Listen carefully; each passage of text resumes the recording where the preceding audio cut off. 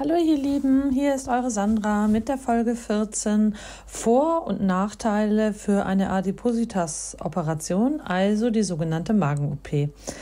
Ich möchte euch hier einfach mal so ein zusammenhängend ähm, ein bisschen erklären, was die Vor- und Nachteile sind, wenn ich eine Magen-OP durchführen lasse. Da ich da häufig nachgefragt werde und auch viele Patienten bundesweit betreue, ähm, einfach mal so eine kleine Zusammenfassung. Also es gibt Zentren, die ähm, vor OP, was hier im Norden häufiger ist als im Süden eventuell, einfach so um das Nord-Süd-Gefälle ein bisschen darzustellen, sind sogenannte Flüssigphasen beziehungsweise Eiweißphasen und Breiphasen.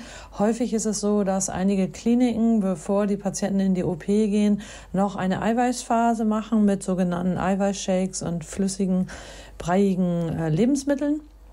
Also Suppen zum Beispiel, die natürlich auch eher eiweißreich sein sollten und man in der Regel die Kohlenhydrate reduziert oder möglichst ganz weglässt.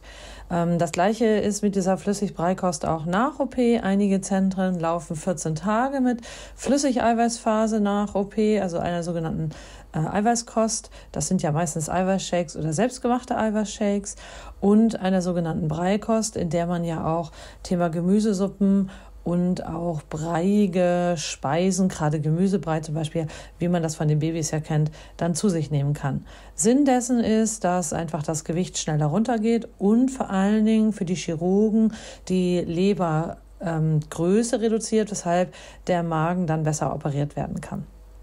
Nahrungsergänzung ist häufig ein Thema, da die Nährstoffe bei den verschiedenen Magen-OPs nicht ausreichend aufgenommen werden und die Portionsmengen im Durchschnitt zwischen ja, 80 und 130 Gramm oder Milliliter ähm, sind und von daher natürlich nicht genügend Nährstoffe aufgenommen werden. Das heißt, da muss Nahrungsergänzungen wie Calciumcitrat, Multipräparate und weitere eingenommen werden.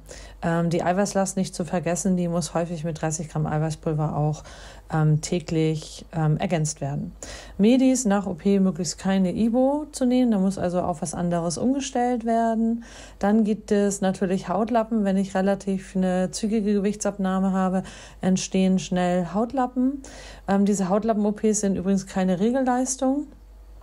Dann ist es so, dass natürlich OP-bedingt ähm, Probleme entstehen können durch Veränderungen ähm, des reduzierten Magens oder falsche Nahrungsmittel, die gegessen werden, kann Schluckauf, Druckgefühl. Ähm, viele Patienten spielen, also erklären auch, nicht spielen, erklären auch immer so eine Art Rülpsen. Also wir müssen die Luft wieder loswerden.